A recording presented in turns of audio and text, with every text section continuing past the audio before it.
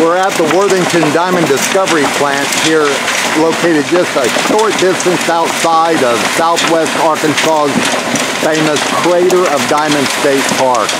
You're looking at our large trommel scrubber. Uh, Mac put in a lot of large rocks today. They were from the oversized. Um, these are the ones that don't fall through that grate when it spins around and we're getting an excessive amount of them out of here right now because he put a full ton, two half-ton scoops in there this morning that had piled up here yesterday. And we want to rerun it because this, although that's a hard volcanic rock, it is crumbly, and when it rolls around with others in that, they will break down and then fall through, but not all of it does. Some of it's stubborn. This is the last day we're going to run this season, probably till May of next year. And this stuff will just sit out here all winter and weather. And uh, it'll get wet and freeze and break apart. And next year we'll scoop it up and run it through and see if any diamonds have been hiding in those chunks.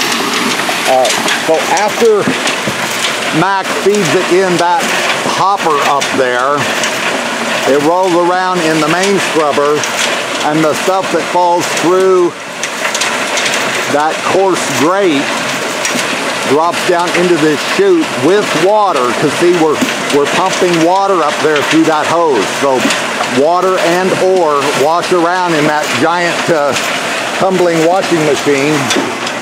And then it goes down to this smaller scrubber and it rolls around in here for a while. Let me show you though the slurry that's coming down that is just mud and gravel and diamonds and all that.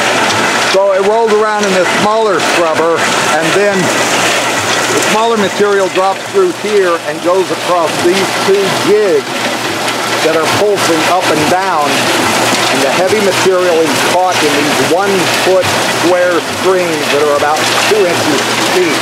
I've got a set of two. Whatever is not caught in this will be caught in this.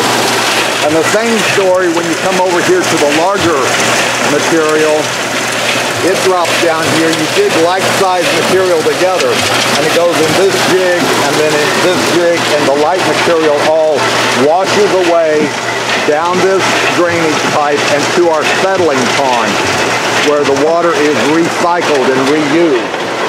I wanted to show you one thing. We have a leak here see the water coming out? Well, this tire is getting old. Uh, see, it's kind of cracking along here, cracking along there. Well, when this equipment was shipped here from South Africa, they sent some spares, and among them were four of these rubber tires for replacing that because they knew eventually this is going to crack and wear out. Now, this is the last day we're running today, so I'm not going to replace it right now.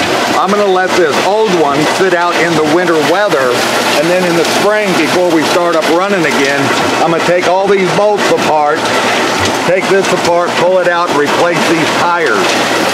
I think the ones on the other side are still good. We've got two tires back there. But uh, I'm glad the ones I got to replace are on this side. They're easier to get to. But uh, anyway, Mac will soon be back with another load of ore and run through the plant.